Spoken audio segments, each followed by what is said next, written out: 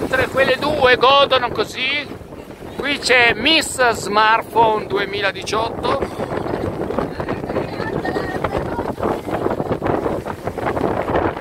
e Miss Paura!